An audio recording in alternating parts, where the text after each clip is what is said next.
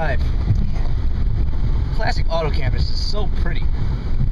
So many cars available for sale, but only one car you need to worry about buying. That's the Fiat 500. You notice I'm in the back seat of my 500 right now, and uh, well, the reason is my limo is broken down because the Lincoln, you know, it breaks down every once in a while. But uh, I took the next biggest car I could find in my fleet of cars, the 500. No brainer, right? Got Mr. Lauriano driving today. Let's say hi to him. Hello. Hello. Patrick's just driving along in the uh, the 500. We're in the Sport today. Manual trans. Notice the uh, air conditioning is at a nice 60 degrees.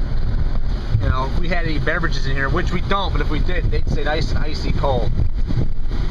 So we're gonna look for uh, some fun things to do right now. It's a little slow today. We only sold like 12 cars, so you know, I'm bored now. Got my directions. Maybe we'll go to the casino. Who knows? Oh man, these aren't the directions to the casino. These are directions back to work.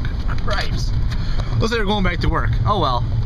So you can see the uh, space in this vehicle. Now remember, I'm in the back seat. If Patrick and I need to talk, I gotta get soup cans and strings because I don't have that kind of voice talents to project to that front seat. It's such a long distance. This car is deceivingly big.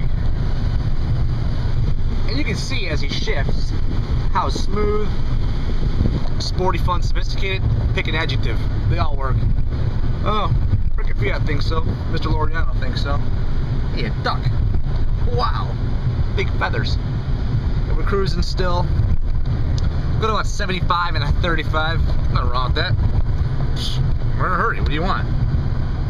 Listen, folks at Classic Fiat, the Classic Auto Campus in Mentor, Ohio, like to do things the right way, efficiently, in a timely fashion. So, it may take us a little shorter time to get there. You know, Marco's Pizza, they say delivery in a half hour, it's free. Delivery in a half a minute, or it's free for us. It's and Fiat signing off. Say bye, Patrick. Bye.